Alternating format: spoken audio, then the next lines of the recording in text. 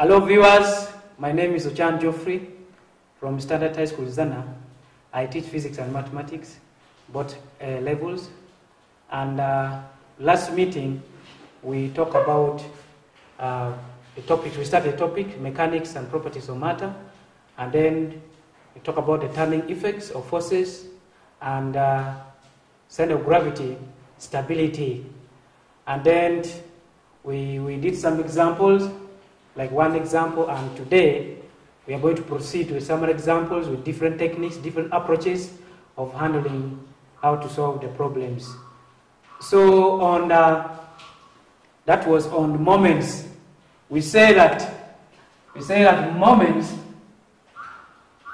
moments the moments is equal to the product of the force. We say that force time the distance time the perpendicular distance from the line of action to the point or from the pivot to the line of action. So we say that this one will be F time D, that is the moment. And uh, we even got an expression for the SI unit of, uh, of moments. And you know that SI unit of force is what? This one here is Newton. And uh, the SI unit of the distance, that perpendicular distance, SI unit is uh, meter. So when you combine the two, you get the SI unit, SI units of moments, SI unit of moments is equal to Newton, Newton meter. That was just a reminder, and even we also talk about the, the principle of moments, where we say the principle of moments states that for a body to be in equilibrium, that under the action of very many forces acting on it, we say that the sum of the clockwise moment about the point is equal to the sum of the anti-clockwise moment about that same point. And uh, we did one example. So today we are going to proceed on examples of how to determine the, how to solve the problems, solve problems under this topic. Then example two,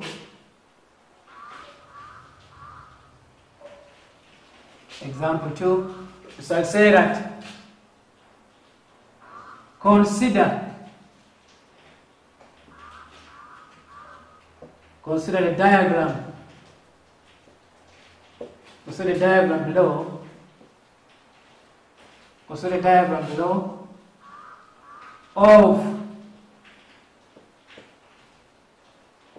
of a uniform of a uniform bar of one meter long. This bar is in equilibrium. You can say that the body is in equilibrium. Equilibrium. Under the action, under the actions of very many forces, of very many, very many forces acting on it as shown below, like that. So we are going to see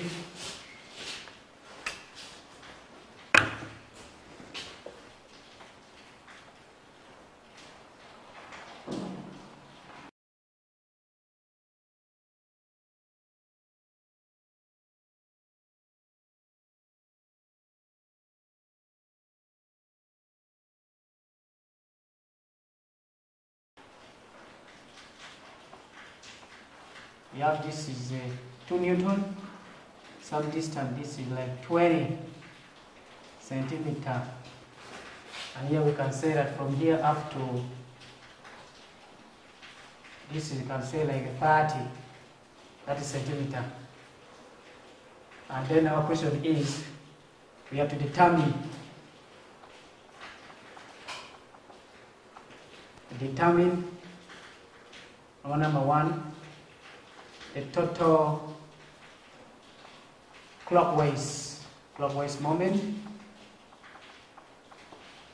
till can say the total anti-clockwise.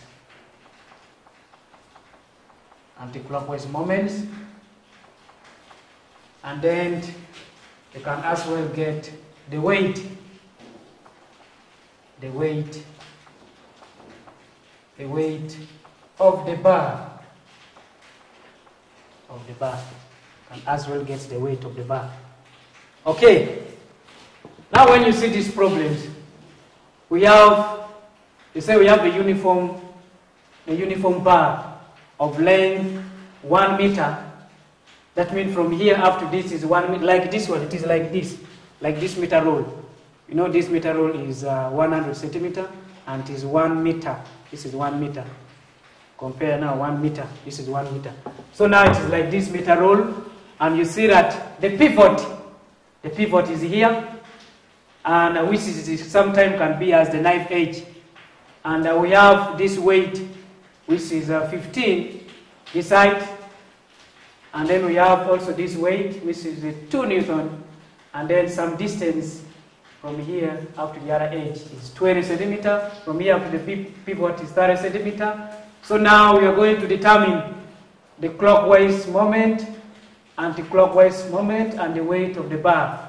So now what we are going to do I'll use this tab space. I'm Going to use it here.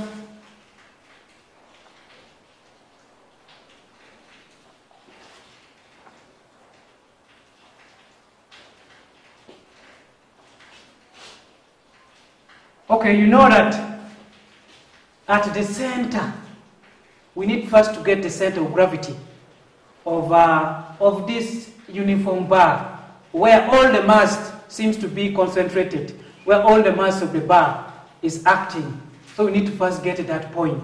So now it is like it will be at exactly, remember, for the meter rule, it would be exactly the 50, 50 centimeter. But for this one, because it's one meter, that means 100 centimeter. That means it will be around, will be around the middle, somewhere here. So that one will be where the weight where the weight of this what? Of this bar will be acting. Let me say that it is here. So now we have, if, if this body, we have this one here, which is 2 newton, 2 newtons, and uh, the distance from here to that is 20, 20 centimeter, and we know that the distance from here up to the other side, up to this side, is uh, will be a half of one meter, which will be like 50. This will be 50 centimeter. Then what will be now this distance here? The distance here will be now, you have to subtract 50 minus the 20. So this one here will be around 30 centimeter. So here will be 30 centimeter. From here to this will be 30 centimeter. And also you know where the pivot is. The pivot is somewhere here. And uh, we know that the distance, we have another force here. This one, which is 15. This is 15 Newton. And the distance from here up to this, uh, it is 30 centimeter. Then what will be this remaining distance from the pivot up to where the weight, where the center of gravity of the bar is. So will be, you say that this one will be approximately 20. Because when you say that 30, 30 centimeter plus the 20, that is 50 already. Plus this one here, 30, that is 80. Plus the 20, you get 100. That means this one here should be, this one is 20, 20 centimeter. Okay. After getting that, so we are going to get now the clockwise, the clockwise moment.